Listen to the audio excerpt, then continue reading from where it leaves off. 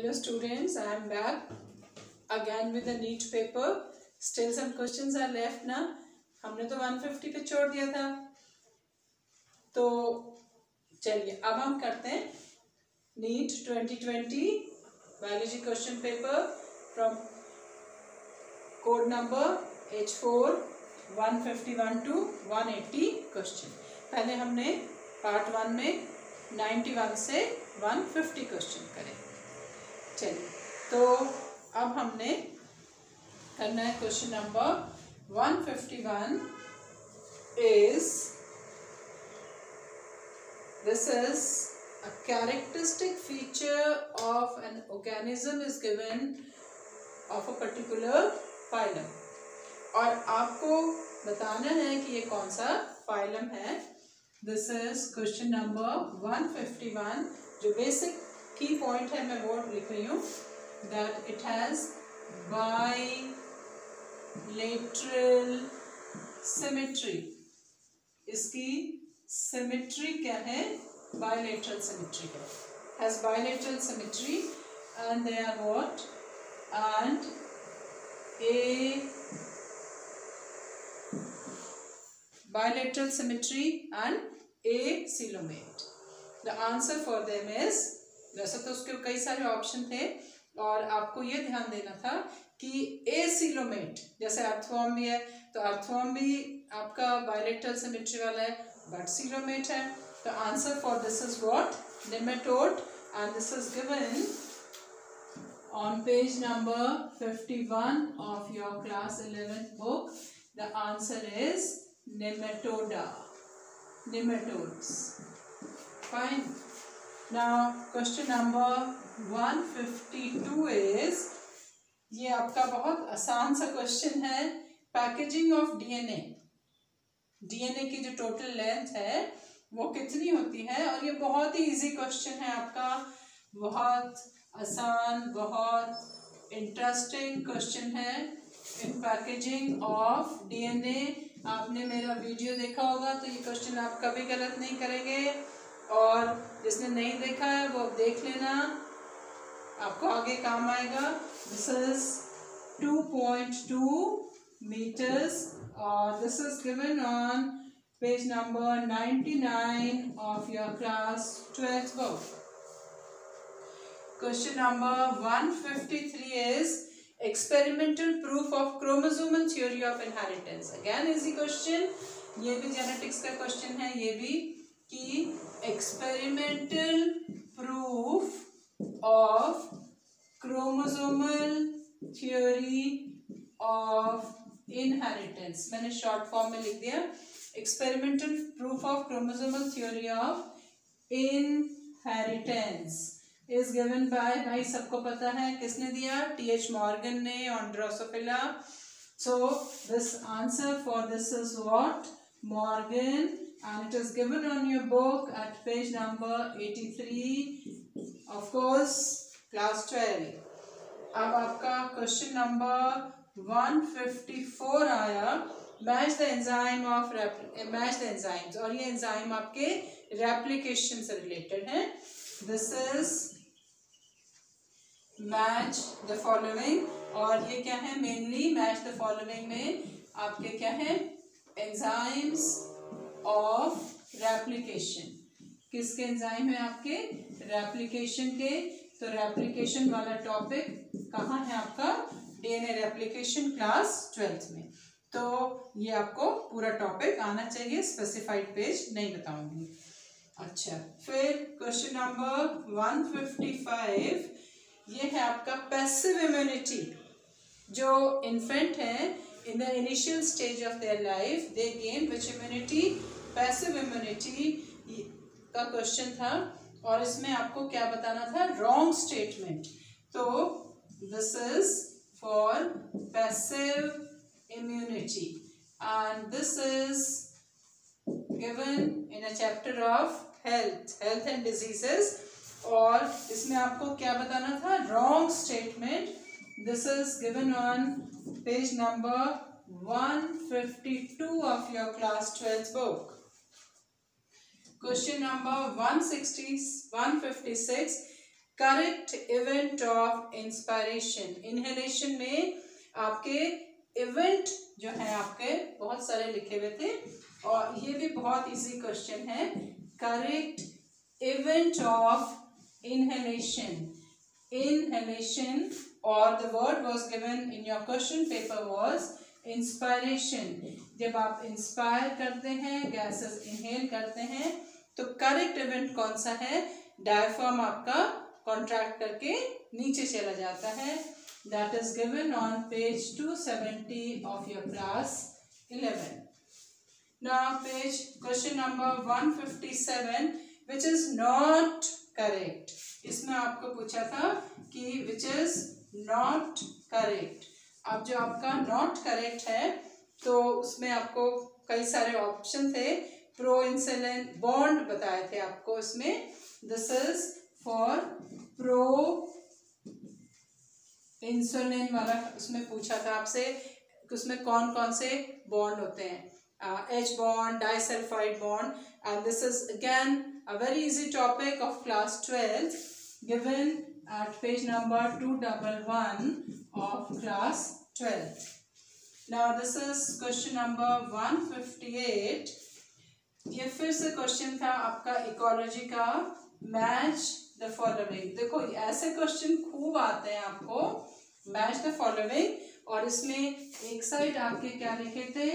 Trophic level trophic level और दूसरे side organism और ये क्वेश्चन भी बहुत इजी है आपके फ़ूड चेन और फ़ूड चेन बनी है कौन से page number two forty seven में। Two forty seven of class twelfth तो अगर आप उसको देखेंगे तो आपको ये क्वेश्चन बहुत आसानी से हो जाएगा। अदरवाइज़ भी ये इतना इजी था कि आप इसको कर सकते थे। It was very easy very very easy question another question is again very easy बहुत, ये भी मैच द फॉलोइंग है. और एंडोक्रीन ग्लैंड का क्वेश्चन है.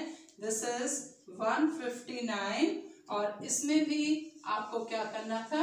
मैच करना था. मैच द फॉलोइंग और मैच में एंडोक्रीन ग्लैंड एंड डिजीजेस ये तो और भी इजी क्वेश्चन था. यह है आपका एंडोक्रीन ग्लैंड और यहाँ पे क्या था? Diseases this is very easy लेकिन इसके लिए पेज हम स्पेसिफाई नहीं कर सकते क्योंकि आपको अलग अलग जगह आपकी ग्लैंड लिखी हुई है।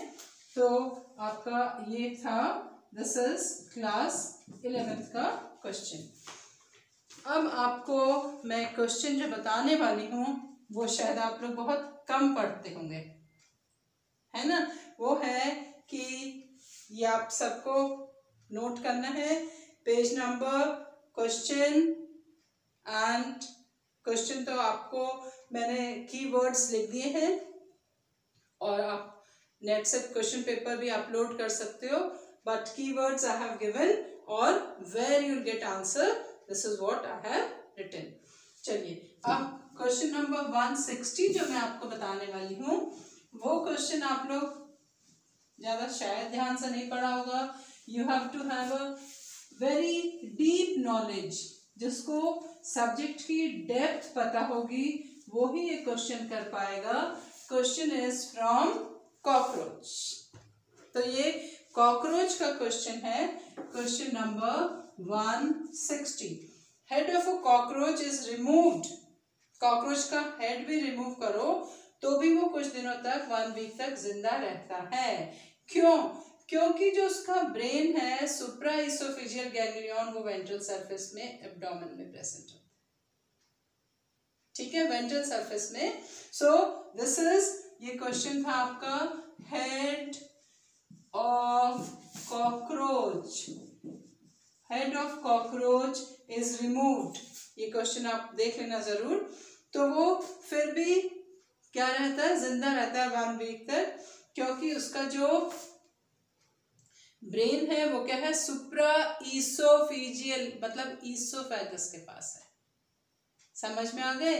So this is what brain of the cockroach head of the cockroach is removed है ना? Then it can also survive और this is very simple answer given at page number 114 of your class 11th ठीक है? आपको लगेगा कि ये कहाँ से क्वेश्चन आ गया, पर आपकी बुक में ये स्टेटमेंट दिया हुआ है। क्वेश्चन नंबर 161 फिर से आ गया आपका मैच द फॉलोइंग ठीक है? और ये क्वेश्चन है आपका ह्यूमन रिप्रोडक्शन से, जो कि जिसमें आपकी ग्लैंड्स के बारे में पूछा हुआ है। ये बहुत इजी क्वेश्चन है। Again very easy question and this is regarding what human reproduction का क्वेश्चन है ये। ह्यूमन रिप्रोडक्शन इसमें आपको ग्लैंड्स और उसकी पोजीशन पूछी थी और this is for class twelve ठीक है इजी क्वेश्चन ना क्वेश्चन नंबर 162 और ये ABO system of blood group में आपको पूछा था wrong statement what is a wrong statement तो this question is again easy कि एबीओ सिस्टम में आपको स्टेटमेंट दिए हुए थे एक रॉन्ग स्टेटमेंट बताना था। उसको आप क्वेश्चन को पढ़ते तो आपको पता चल जाता है कि जो ब्लड ग्रुप ए बी है आ, उसमें L L I L L I B दोनों क्या है? डोमिनेंट है। सो so, ये बहुत आसान again easy question of what class twelve ठीक है? This is given at page number seventy seven में आपका दिया है। फिर आपका था question number one sixty three correct statement लिखना था आपको. Again this very easy question from DNA आपको लिखना था this is correct statement correct statement था कि इसके बीच में कितने हाइड्रोजन बॉन्ड होते हैं. बहुत easy question given for from class 12 at page number 97 now this is, ये क्वेश्चन थोड़ा सा आपका ट्रिकी था। बच्चों ने इसको अगर, जिसने ध्यान से पूरी सिलेबस अच्छे से नहीं करा होगा, वो शायद नहीं कर पाएगा। Site for glycoprotein and glycolipid synthesis कि जो आपके this is site for glycoprotein and glycolipid synthesis कहाँ बनते हैं ये? They are formed in what Golgi body Golgi body Golgi body में बनते हैं। जब आपके प्रोसेसिंग होती है वहाँ पे, है ना?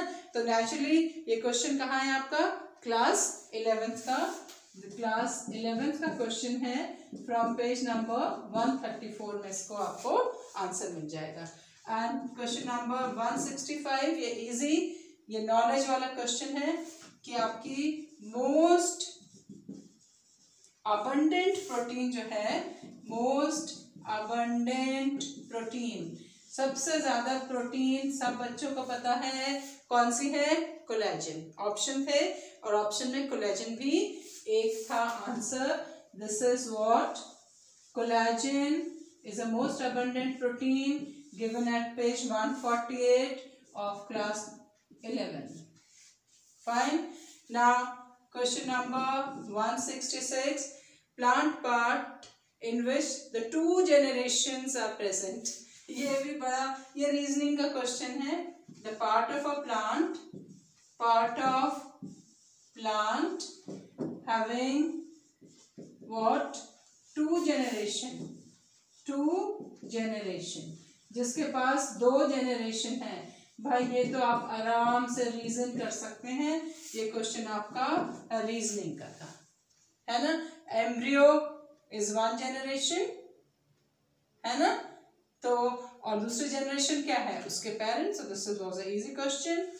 166 now, अब हम आ गए क्वेश्चन नंबर 160 दिस इज़ 167 में। ये एक बहुत कॉमन सा क्वेश्चन है, जो कि हर बार आता है बोर्ड के एग्ज़ाम के लिए भी बड़ा इजी क्वेश्चन है।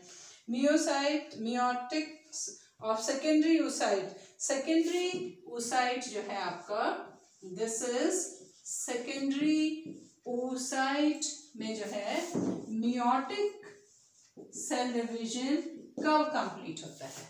मियोटिक डिवीज़न ये है कब आपका कंप्लीट होता है। कब कंप्लीट होता है भाई? जब स्पर्म अप्रोच करता है।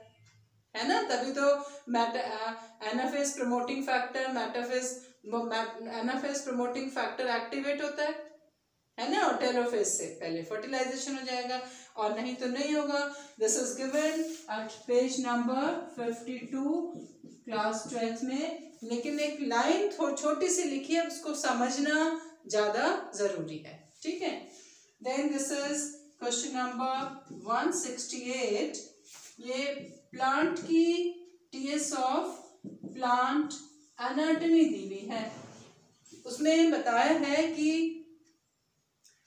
vascular bundles are scattered close and conjoined. अब आप समझ गए स्कैटर्ड क्लोज कंजॉइंट क्या प्लांट है?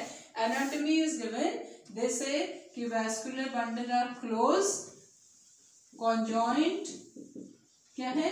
वेस्कुलर बंडल और स्कैटर्ड है? वेरी सिंपल मोनोकॉट स्टेम है ना? तो ये क्या आ गया आपका? आंसर इज़ मोनोकॉट स्टेम और this is given in your book at page number ninety three ठीक है? इलेवेंथ क्लास का क्वेश्चन है. तो ये क्या है आपका? ये इजी इजी क्वेश्चन है। और ये वाला क्वेश्चन आप तभी करेंगे जब आपने चैप्टर को अच्छे से पढ़ा है। इस तरह का क्वेश्चन भी बहुत एग्ज़ाम में आता है। फाइन अब हम आ गए question number one sixty eight now अब आप देखो कि जो बच्चे कल एग्ज़ाम करके आए हैं, उन्होंने अपने आंसर्स किस तरीके से करे? क्योंकि बायोलॉजी में अगर आपको थ्री हंड्रेड से ज़्यादा मार्क्स नहीं मिले तो थोड़ा डाउटफुल रहता है। तो आपको कितने मार्क्स बायोलॉजी में लेने हैं? Three hundred plus fine now question number one sixty nine कि goblet cells are modified what ये आपको पता है कि गॉबलेट सेल्स जो होती हैं, कहाँ है? स्टमक एंड इनर इंटेस्टाइन की इनर लाइनिंग में। These are modified epithelial cells the goblet cells क्या हैं? ये मॉडिफाइड कौन सी सेल हैं? These goblet cells are modified epithelial cells होती हैं। और ये आपके इलेवेंथ क्लास के पेज फोर्टी वन में लिखा है। ना क्वेश्चन नंबर वन सेवेंटी ये बायोटेक का क्वेश्चन है कि ओ आर आई ओ आर आई जो है कॉपी नंबर का क्या फ़ंक्शन होता है? तो इसमें था कि ओ आर आई जो है, वो कॉपी नंबर भी कंट्रोल करता है। This is a property of a vector है ना? तो ये दिस कंट्रोल कॉपी नंबर ये क्या करता है आपका? कंट्रोल कॉपी नंबर और this is given at page number 199 of your book फिर से आ गया match the following this is ये मैं कहूँगी इंपॉर्टेंट क्वेश्चन है. ये match the following from ear sense organ important होते हैं. ठीक है? आपने देखा नर्वस सिस्टम में और जगह से कहीं से क्वेश्चन नहीं आया. ये ईयर का क्वेश्चन आया. आई का क्वेश्चन आता है। तो ये सेंस ऑर्गन आपके इम्पोर्टेंट पार्ट है, ठीक है? तो मैच द फॉलोइंग में ईयर का क्वेश्चन है और ये बड़ा कि यूस्टेशन ट्यूब दिस और ये आपका जैसे कि यूस्टेशन ट्यूब किससे अटैच रहती है? राउंड विंडो से और स्टेप्स ये मैच द फॉलोइंग थे इसके तो आपको ईयर का स्ट्रक्चर अच्छे से आना चाहिए। This is given at this is eleventh page number I did not write for this ये आप पेज नंबर देख लेना। अच्छा फिर question number one seventy two basic amino acid यह है आपका बेसिक अमीनो एसिड ये आप, मैं आपको ऐसे लिख देती हूँ. दिस इज़ ये नर्वस सिस्टम में लास्ट टॉपिक है ये।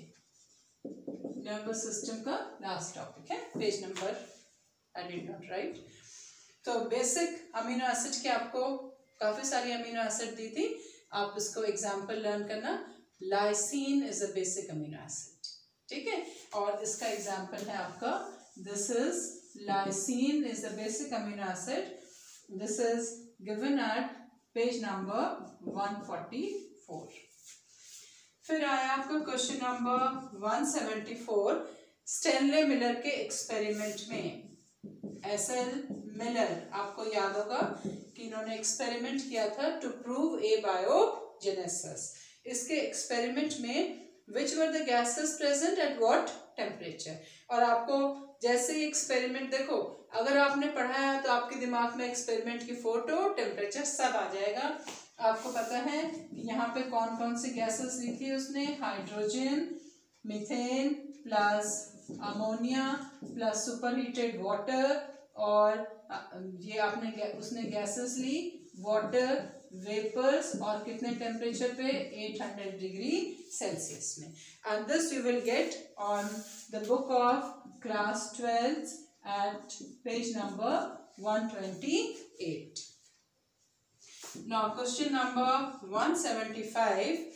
This is, insulin is related with what? ये जो इंसुलिन है, इस बार इनको इंसुलिन बहुत पसंद आ गया इंसुलिन के दो क्वेश्चन पूछ दिए एक तो बॉन्ड कौन से होते हैं एक प्रो इंसुलिन में और एक आ गया insulin is related with what है ना किसे hypoglycemia. It insulin helps a cell to absorb glucose और ब्लड में ग्लूकोज के लेवल को कम करती है। So it is related with what किससे? Hypoglycaemia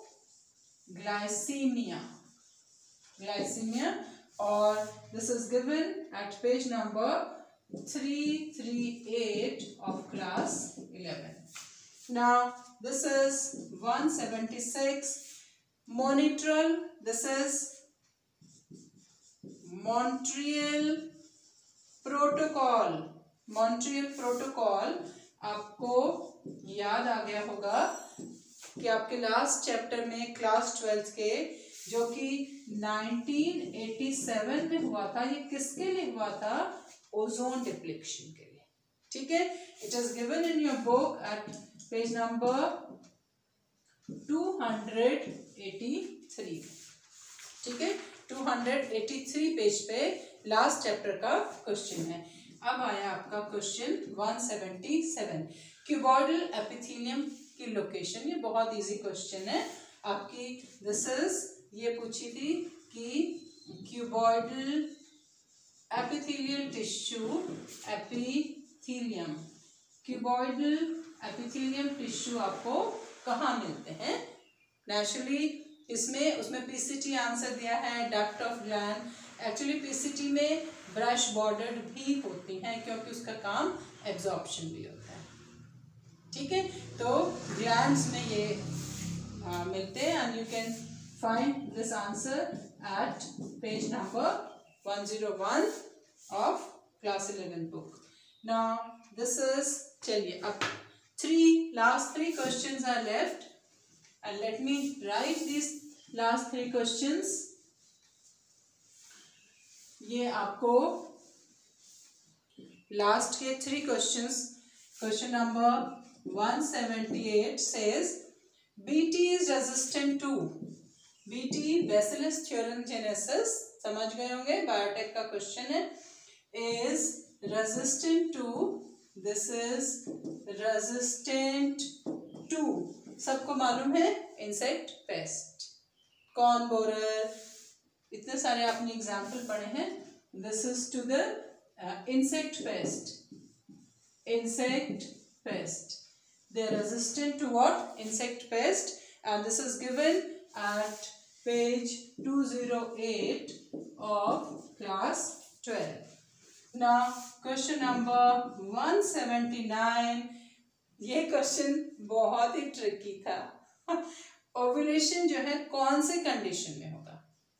this is menstruation cycle में ओव्यूलेशन कब होता है? नॉर्मली सारे बच्चे क्या याद करते हैं? L H surge L H की कंसंट्रेशन बहुत ज़्यादा हो गई। है ना? तो एफ़ एस एच कम हो गया। लेकिन उसके साथ साथ आपने और देखा, वो ग्राफ देखना जरा। उसमें एस्ट्रोजन भी थोड़ा ज़्यादा है। एक आपका ऑप्शन है हाई एस्ट्रोजन ठीक है? तो ये क्वेश्चन आपको मिल जाएगा वहाँ पे। ग्राफ वो जो आपकी फिगर दी हुई है ना ग्राफ उसका क्वेश्चन है ये। So this is given at page number fifty of your class twelfth book graph देखना, है ना? वो जो फिगर होते हैं, वो भी बहुत ज़रूरी है।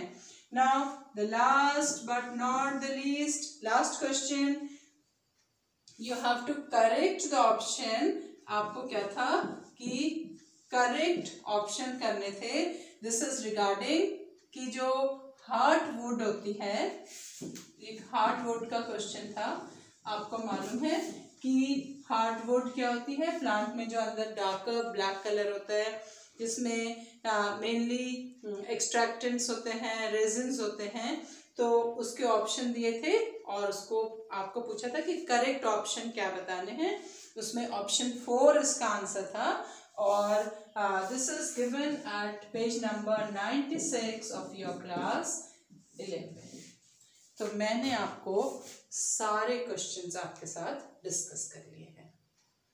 अगर आपको लगे कि मैंने कोई क्वेश्चन नहीं अच्छे से आपको बताया तो आप मुझे कमेंट्स करके लिखना।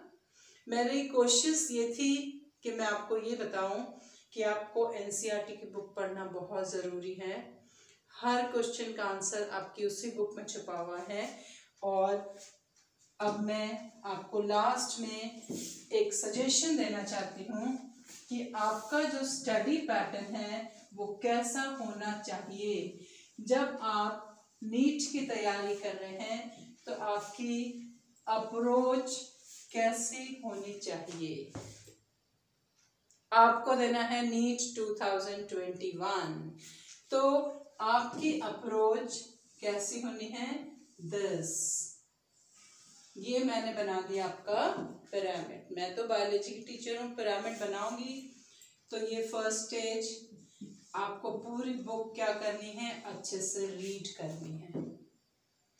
इम्पोर्टेंट पॉइंट अंडरलाइन करने हर पॉइंट को समझना है बुक रीड करनी है except page number you have to see everything along with the figure बहुत सारे क्वेश्चन फिगर के भी आते हैं। अभी आपने देखा ना ओवुलेशन वाला क्वेश्चन फिगर का था, और मैच द फॉलोइंग इकोलॉजी वाला क्वेश्चन भी फिगर का था। फिर आपने इम्पोर्टेंट मार्क कर लिया। सेकेंड स्टेज में जो आपने इम्पोर्टेंट सेकेंड मार्क करे थे, उनके आप क्या बना दें? क्वेश्चंस में उनको टर्न कर दें। Convert the statement into question in your mind और put question mark in your book third stage में आप उन सबको फिर से further you read it further आपने उसको क्या करना है, जो आपने इम्पोर्टेंट करे हैं, उनको पढ़ना है और आपने ये इसके क्वेश्चन सॉल्व करने हैं। कौन से? MCQ MCQ of finger tips NCERT on finger tips के एमसीक्यू सॉल्व करने हैं। आप एनसीईआरटी एग्जाम्पलर भी सॉल्व करिए। फोर्थ स्टेज में आपको, आप लास्ट ईयर्स के लास्ट ईयर्स के क्वेश्चन पेपर क्वेश्चन पेपर आप देखो, जिससे आपको you will get a study pattern by the time आपके पास एक हैंड आउट तैयार हो जाएगा जो आपने इंपॉर्टेंट चीज़ बना के रखी है। आपने देखा कि डिस्कवरी का क्वेश्चन भी आता है। Question number one twenty eight है ना? जिसमें था कि who disapprove embryological evidence Ernest Haeckel शायद मैंने आंसर नहीं लिखा। Considering you will see in the book that किसने डिसअप्रूव करा कि embryological evidence is not the correct evidence for uh, evolution. Ernest Haeckel उनका बायोजेनेटिक लॉ था। तो वो ऐसे आपको आप अपने क्या तैयार करेंगे? हैंड आउट और ये आपका लास्ट मिनट प्रिपरेशन और आपने सब कुछ रिवाइज कर दिया। यहाँ पे आप रिवाइज करेंगे this is this period is for revision अपना स्टडी कर्व आपको कभी भी उल्टा नहीं करना है। With this start preparing gear up those have given exam please see your answer thank you and have a nice time